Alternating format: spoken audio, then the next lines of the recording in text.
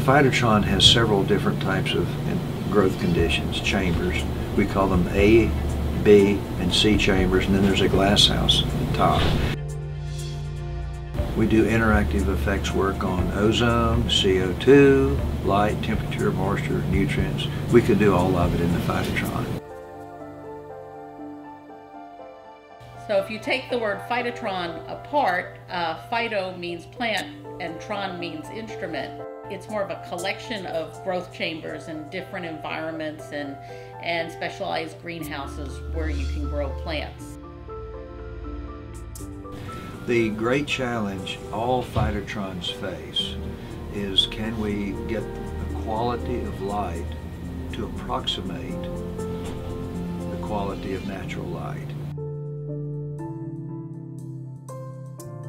What we've tried to do is minimize cost by uh, doing upgrades and having things as efficient as they possibly can be.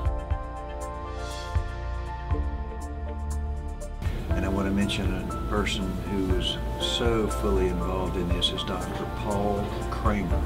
And he had a vision. Dr. Kramer wanted to bring into existence a controlled environment facility to grow crops and make measurements, both yield and quality, to be able to answer why are the crops responding as they are.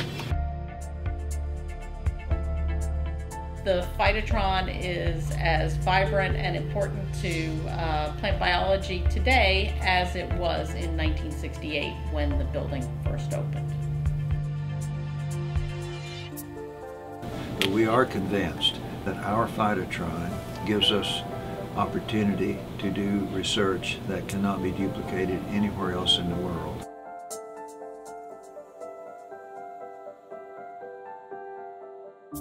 We're happy to have students come through so they can understand more about, about plant biology.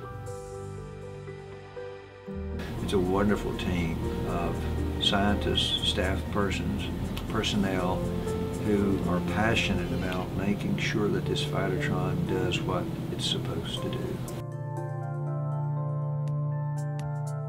Our, our, students, we have both graduate students and undergraduates conducting research in the phytotron.